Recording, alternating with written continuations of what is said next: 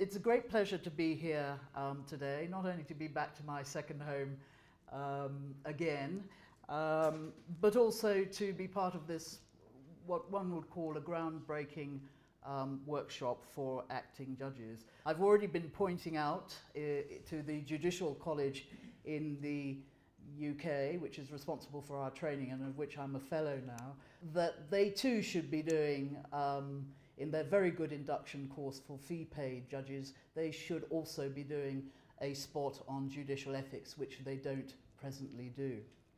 That was the oath I took when I was sworn as a High Court um, judge. This is the oath that you took when you were sworn as acting judges, and I'm assuming you did all take the oath when you were sworn in as acting judges.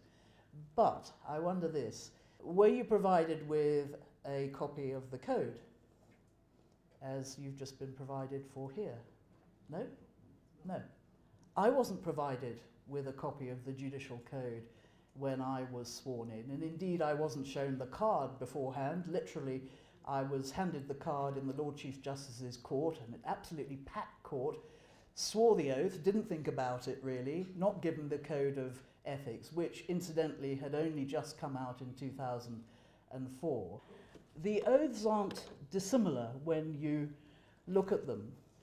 What one has to say to oneself is what does it all mean?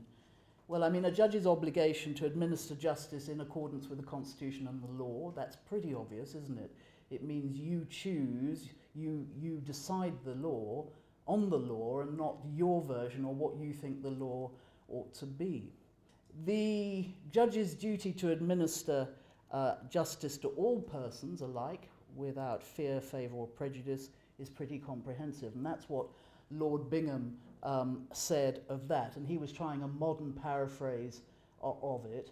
And he said, A judge must free himself of prejudice and partiality and so conduct himself in court and out of it as to give no ground for doubting his ability and willingness to decide cases coming before him solely on their legal and factual merits as they appear to him in the exercise of an objective, independent, and impartial um, judgment. And in a way, that really doesn't need much elaboration. We have to ask the question what conduct do, do we expect of judges and why? Well, why is pretty obvious, is it, is it not? Um, no one can be in any doubt that an independent and impartial um, judiciary is the bedrock of a democratic society. And I hope at this stage that I'm not offending one of the don'ts of Justice Nugent, because we, we hear that, the bedrock of a democratic society, that's something that is said very often. But the judiciary is central to preserving the rule of law. It's important that we approach the job um, with that independence and impartiality that is really part of our DNA. Now, what do we expect of judicial um, office holders? Now, I'm going to go back as far as um, 1660, Lord Chief Justice Hale, because I really think, and it reads so beautifully as well, that in the execution of justice, I carefully lay aside my own passions and not give way to them, however provoked that I be wholly intent upon the business I'm about, remitting all other cares and thoughts as unseasonable and interruptions. That I suffer myself, not myself, to be prepossessed with any judgment at all till the whole business and both parties be heard. That I never engage myself in the beginning of any cause, but reserve myself unprejudiced till the whole um, heard. A lot of countries, if you look across the world now, most countries have got some kind of code of um, judicial um, conduct. It's important to note in the preamble of your code of um, conduct that it emphasizes the need for the judiciary to conform to standards, ethical standards that are generally um, accepted, and in particular the Bangalore uh, principles of judicial uh, conduct. So it behoves you as a minimum to be aware not only of your code of conduct, but also um, those of the Bangalore principles. And the principles are there. There's six values in the Bangalore principles independence, impartiality, integrity, propriety, equality, competence, and diligence. Now, these are guidelines to provide guidance for judges and to provide a framework for judges in relation to judicial conduct. They're also, because they're, they're not just for judges, they're also for the wider public to understand uh, the guidance and the rules for judges, and also the executive and the legislature and the lawyers uh, when you're wearing your legal lawyer's hat. And it's there for a, people to understand what is expected um, of the judiciary. I'm going to very briefly just mention some codes of other jurisdictions. The reason I do is because there's a provision in your code um, that it is sometimes helpful to look at the codes of other jurisdictions um, when considering ethical matters. And so I'm just going to uh, name some of them for you. I haven't got time to go through in any detail as to how they're set out and how they differ from your code. But I think it, it, it's important just to um, draw your attention to some of them. You've got the Canadian uh, ethical principles for judges, very similar to the Bangalore principles, which has headings, statements, and accompanying uh, principles.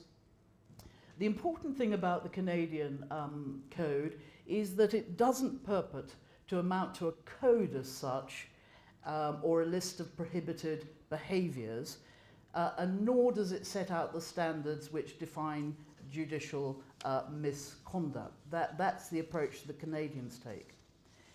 The ABA Model Code of Judicial Conduct um, sets out guidance in four simple canons with accompanying rules. Now, I use the word rules because that, in contrast to the Canadian model, um, apart from being a guide to assist judges in maintaining standards of judicial and personal conduct, is also the basis for regulating judges through disciplinary um, agencies. So there's a distinction there. The English Code of Judicial Conduct is very much like the Canadian one, it's just a guide. It has commentary under seven headings independence, impartiality, integrity, propriety, competence and diligence, personal relationships and perceived bias, activities outside court, and retirement. And that's very much, as I said, it's a guide and it's not the basis for disciplinary um, proceedings. The Australian Code of Judicial Conduct is a very practical document and it's one that I suggest that if you have time that you download um, because the aim of the publication is to give practical guidance to members of the Australian um, judiciary. And it recognises that are, there are a range of reasonably held opinions on different situations, and that's why it aims to be um, very practical in the guidance that it gives. And I very much um, recommend um, that you download a, a, a copy of that because it's very helpful from a practical point of view. If you're very interested in um, looking at other codes, in particular from the Commonwealth countries, you can always get um, a copy of those codes from the Commonwealth Judges and Magistrates um, Association. You can go online and and um, see what's uh, there. Now, your code of conduct is divided into articles which set out the principles. The principles are accompanied by notes of guidance. So we have judicial independence, to act honourably, compliance with the law, equality, transparency, fair trial, diligence, restraint, association, recusal, extrajudicial activities of judges on active service, extrajudicial income, reporting inappropriate conduct, and judges discharged from active um, service. Now, the fact that there are more headings in your code does not mean that the other codes have missed things out. It just means that you've divided some of those um, common principles into um, separate headings.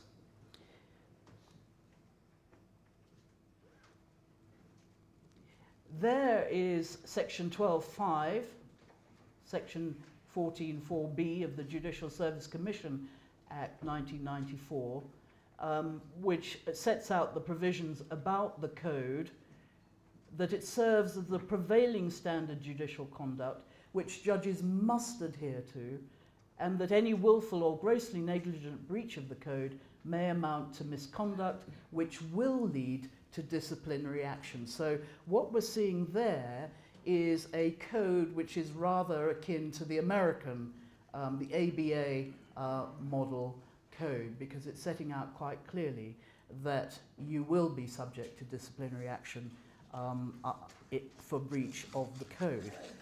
Um, but beware of Article 3.2c of the code, because what it says is the code must not be interpreted as absolute, precise, or exhaustive. Conduct may therefore be unethical, which on a strict reading of the code may appear to be permitted, and the converse also um, applies. And that's really, really important indeed. Because it's not in the code, doesn't mean that you've got a let out clause, basically. And I think that's something you have to be very clear about. Subsection 3, and I didn't, I didn't copy that for you, um, deals with the international standards to which I've all, all, already alluded. In other words, what they're saying is um, although international codes and standards aren't directly applicable, they can be useful in those sort of cases where your code doesn't cover that type of situation. So that's where the sort of international aspect um, comes into it. The principle that I'm going to focus on um, now is that of impartiality. Now it says unconscious bias, and there's um, a, a reason for that.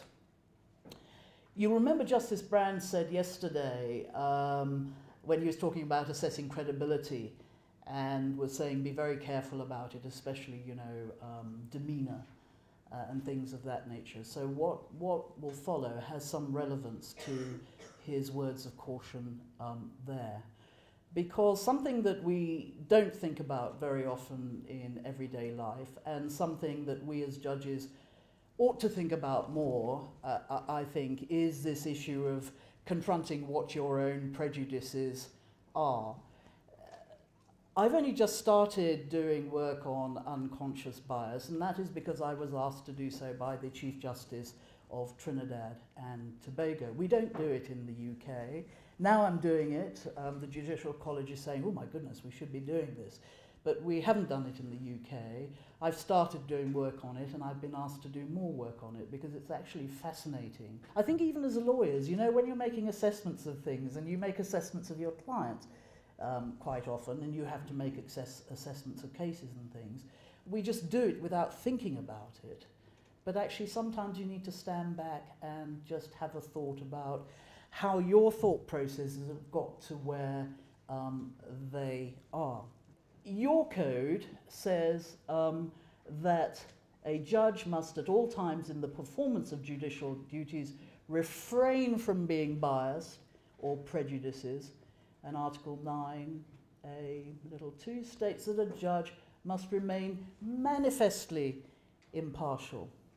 Now, what I want to deal with is the not so manifest, and that's the issue of unconscious um, bias. I'm going to give you a little story against myself um, that, that happened just to sort of give you an idea of what I'm getting at. I went on circuit, one of my first circuits, I went out on circuit um, to the north of England, and the judges in the um, judges' dining room were complaining about a particular counsel. All of them were complaining about her, saying she looks awful, she's dreadful, she's this, this, this, this.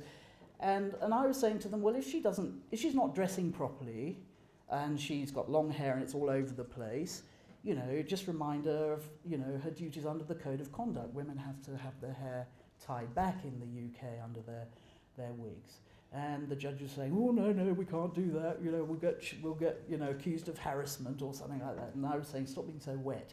Anyway, I finished, I finished my, I had six weeks there, And I finished my case in five weeks, and so I had a week to spare. Didn't want to go back to London, so I said I'd do some of the smaller cases um, at court there. And guess what? The first case, who turns up, but that particular counsel that all the judges had been complaining about. And it is true to say that she looked as if she'd gone through a hedge backwards.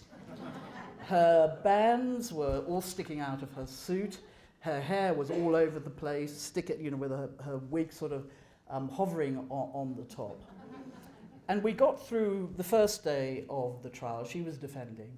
And I became so fixated on the way she looked and what the judges had told me, because they'd really prejudiced me uh, against her. And I was probably distinctly um, cool whenever I had to address her um, about something. And it came to the end of the day, and I thought, if I'm thinking like this, and not although I was taking a note, because I, I used to use my computer in court, so I was mechanically taking a note of the evidence, but actually not listening to the evidence because I was so fixated by counsel. And I thought, if I'm like that, what are the jury thinking? The same thing's probably happening with the jury, that they, they've taken again her because they think she looks unprofessional. They're not listening to her cross-examination, her client's case or anything, and this is not good for justice. So I was a bit of a coward, but I asked my clerk, who was a lovely chap and did it, I knew, much better than I would have done it, um, to have a word with counsel and just remind her about the, the relevant paragraph in the Code of Conduct about, about dress and pulling your hair back and everything. The next day she came into court, hair back, looked really professional, bands, you know, inside the suit, carried on the trial, and it became clear to me that actually she was a very good advocate indeed. But her client's case was being prejudiced because of this distraction. But it was, it was a lesson to me at how easy, easily one can become prejudiced and hold something against a person and therefore not listen because you've already formulated an idea and have a view about that person. And that was a very, very salutary lesson to me um, about this sort of aspect. So that's really where I'm going to um, and getting at when I talk about um, unconscious bias. What is bias? Well, there you have it. That's the Oxford English Dictionary definition. An inclination, leaning, bent, predisposition towards predilection or prejudice. Everyone has biases. It's part of our flight or fight instinct. It's involved in the processing of our everyday actions and it serves a purpose. So if you say, I'm unbiased, I don't have biases, you're wrong. You do. They're there. We make decisions about what is safe and what is not. And this has been called the danger detector. Scientists estimate that we are exposed to as many as 11 million pieces of information at any one time. I mean, it's, it's unbelievable when you think about it. And our brains can only process about 40 um, at a time. There's also a distinction between our conscious mind and our unconscious brain. And the unconscious brain, this is the important part, is processing and sifting about 200,000 times more information than the conscious um, mind. We develop a perceptual lens that filters out some things and lets in others depending on certain perceptions, interpretations, preferences and biases that we ourselves um, have adapted in our lives. So according to research, this natural, and I stress natural, human process of categorizing like objects together and related cognitive biases can result in an individual's implicit reliance on stereotypes. And we all do it, I'm afraid. If anybody says they don't, you're deluding um, yourself. And I think it's really important um, when we see that research tells us, in fact, that you, you may not think that you uh, do stereotypes, but actually unconsciously um, you do it's been found that this can make people remember stereotype behavior that did not occur and less readily remember stereotype inconsistent behavior which did occur. And that I find very frightening indeed, but that's what the research um, has shown. what is unconscious bias? Now, it's got all sorts of different names, as you can um, see there, but they relate to the same thing. It's a concept that individuals have a preference at a subconscious level that unintentionally influences decision making. Unconscious bias operates at a very subtle level below our awareness. It's difficult to detect, but it results in almost unnoticeable micro um, behaviors. Now, I asked when I was in the Caribbean, I asked the, the the judges, I gave them this hypothetical scenario. I'd invited them. They, I knew they were in holiday. One or two of them on holiday in London. I've said, okay. I said, um, you know, why don't you come to um, a reception that uh, some judges are going to be at, so you can meet some of the English judges. But I said, imagine the situation. I'm late. You walk into this reception, and it's a room full of mainly white men, but some white women, and a couple of um, black judges. Where will you go? Guess what they said? They, made a, they would make a straight beeline to the black judges because they would feel comfortable there. I did a similar thing with tall people, the tall people, same scenario with the very tall people, and where would they gravitate towards? Somebody, you know, in a room full of people they didn't know. They, they agreed that they would gravitate towards the tall people because it's people you you feel comfortable with. You don't know them, but you have something in common, and therefore you go there by way of, of, of comfort.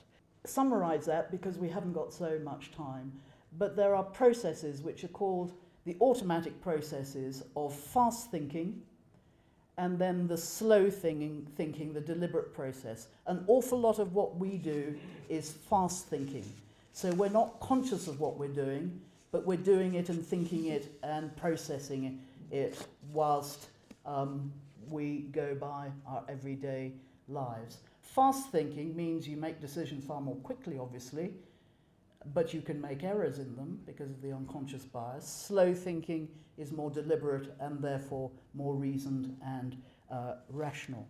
What does the research show? And this, this is, again, something that one should be aware of because children as early as three, and this is mainly research from the States, because that's where most of the research has been done, um, pick up terms of racial prejudice without understanding the significance of it.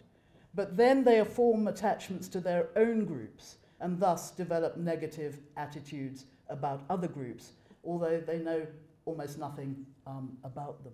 Affinity bias, the mini-me syndrome, conformational um, bias is based on the thesis that we make decisions largely in a way that confirm the beliefs we already have. So this, um, this happens unconsciously, both in good and bad ways. So, for instance, you know, talking to some of the judges, did they have an ingrained belief that unemployed people were lazy because they were unemployed and were obviously um, not making an effort to um, get a job. If you had somebody charged with shoplifting, with theft, and they're unemployed, do you think subconsciously that might affect your approach to their evidence in the sense of down down below in your gut you're thinking well they probably did because they're unemployed and they can't afford they can't afford um, to pay for things so those are the sort of dangers one has to be aware of Assimilation bias is an inclination to interpret ambiguous information in a way that is consistent with previously held beliefs. Belief perseverance, that's keeping held beliefs even though you've been shown, the evidence shows that your belief is wrong. You, you just believe it so strongly, you're not going to listen to anything that contradicts um, what is said. I mean, th this is particularly pertinent to judging. I'll tell you why. Because if you're looking at evidence and you say, well, I choose to accept this evidence, and you'll pick on that, there is some evidence there that doesn't really support your belief, and you miss it out. So you don't really deal with it. You sort of, you're silent about it and pick on what you like. That is a great danger in judging and making assessments. Argument from authority is um, that if an argument is put forward by somebody who's authoritative or somebody you like, that it's more likely to carry um, weight with you. Remember somebody mentioned about S, um, you know, senior counsel, um, you know, whether you should defer to arguments from senior counsel. The answer is you shouldn't, but the fact that the question's asked um, it, it is, is very much um, part of that argument from authority um, issue. Argument from novelty, because it's new, um, it must be better. A bit like iPad, really, isn't it? Every version of the iPhone, it, you know, it must be better because it's the new version. There's the bandwagon bias. Argument for antiquity is the opposite. Because it's, you know, it's been there forever, it means that it's right. Bandwagon bias, we've all heard about people jumping on the bandwagon, and often people jump on the bandwagon without actually having rationally thought through why they're jumping on that bandwagon. Argument from ig ignorance, well, that's self explanatory. Um, correspondence um, bias, that is a, um, that's a tendency to explain others' behaviors, overemphasizing their personal uh, disposition and downplaying the relevance of the situation. Thinking that people perhaps break the law because they've got a criminal personality, um, disregarding situational factors that may have caused them to commit the um, offence because they've got previous convictions. It's a, bit, it's a bit like that argument of because they've got previous convictions, it means they're more likely to have committed um, this offence. The gambler's fallacy is the belief that if a given outcome has not occurred for a while, then it's bound to happen um, soon. Now, if any of those sound familiar, then that's good in a way because you're acknowledging them. The bottom line is acknowledge it. Be aware um, of your possible biases. Because research has showed that we can control our unconscious bias. Um, the real key is to being aware of it. So this is what I've put together. It's not scientific, it's just, it's just a bit of common sense, it seems to me, that one needs to look at. First of all, recognize that you have unconscious biases. Try and identify what those biases may be. Formulate questions related to work and answer them honestly, and that really is the key, answer them honestly and get feedback from colleagues and staff because it's quite interesting. I, I, was doing some training of magistrates in the UK. Can't remember, it was, it was in a breakout group, and, and one, one magistrate said, Well, I'm not a racist, he said. And the rest of the group said, Oh, yes, you are. Now, well, there was nearly a punch up, but that apart, um, it, he was so taken aback and upset by the feedback that he got from his colleagues because he had never thought about what he did. Nobody'd ever, you know, picked him up on it. So I do say get feedback from people because that's really, really helpful indeed. Analyze your decision making for any possible bias and remind yourself to be fair and objective because the research has shown that if you do remind yourself uh, uh, about biases, you can do something about it. So you just remind yourself um, what you um, need to do. Article 13 a judge should recuse him or herself if there's a real or reasonably perceived conflict of interest or reasonable suspicion of bias based on objective facts, and a judge shall not recuse him or herself on insubstantial um, grounds. Now, there's some further um, uh, guidance in that article uh, on recusal, but I just want to make one or two points of general application. Each case depends on its own facts, that is um, self evidence. And a judge has to be robust in your um, decision making. It's your decision at the end of the day, and it's important to say that there is often no right or wrong um, answer, and opinions may vary, and we'll find this out when we deal with the hypothetical um, questions. But I think the starting point is with these things is always what is the test, first of all. What's the test? What, what authorities are there on the test? What do they say? And those will be your um, starting points.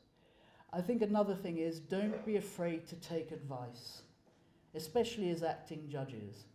There's nothing wrong in adjourning, taking a break to think about the matter and take advice. And I say take advice There's nothing wrong in that, but at the end of the day, you take responsibility for your own decision. You may get advice, you may disagree with it actually, so you make your own decision. But actually, um, discussing it and knocking it around with somebody um, is often helpful to clarify your own thoughts on it. An important issue is one of disclosure.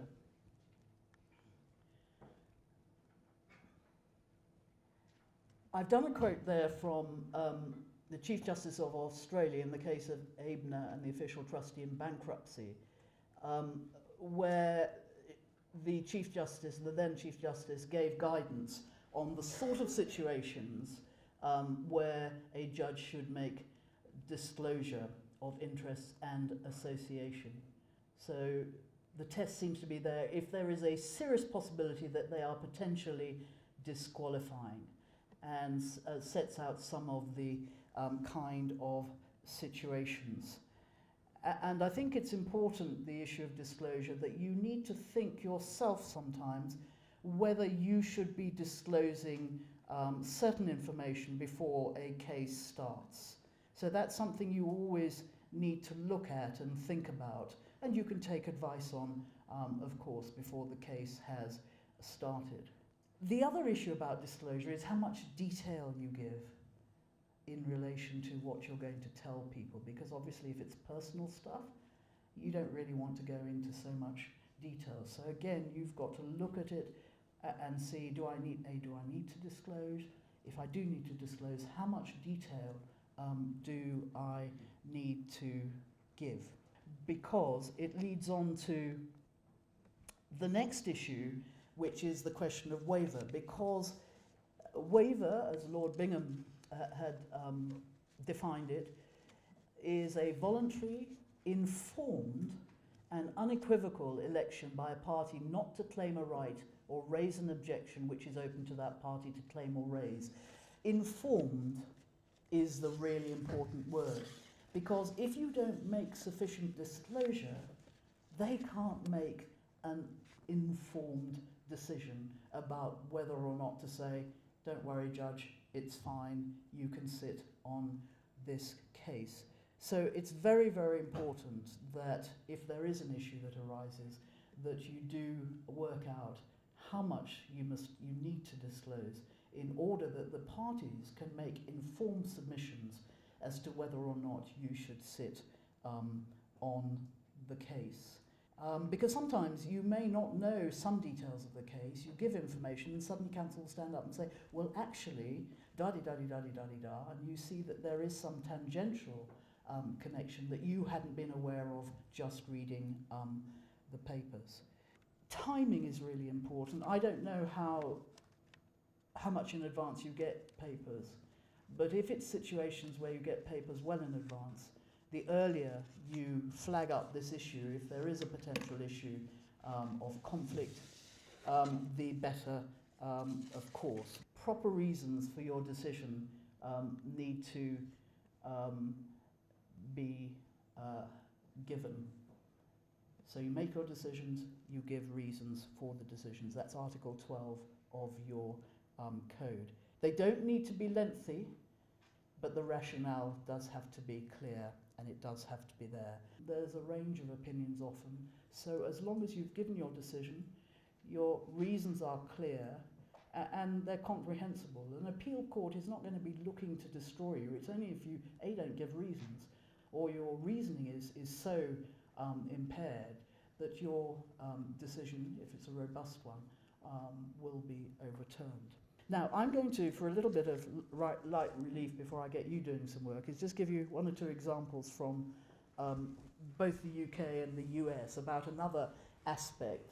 One of your articles talks about um, the impartiality, treating everybody um, with courtesy um, in court and not making derogatory um, comments um, uh, um, about counsel or the party. So one or two examples on how not to do it.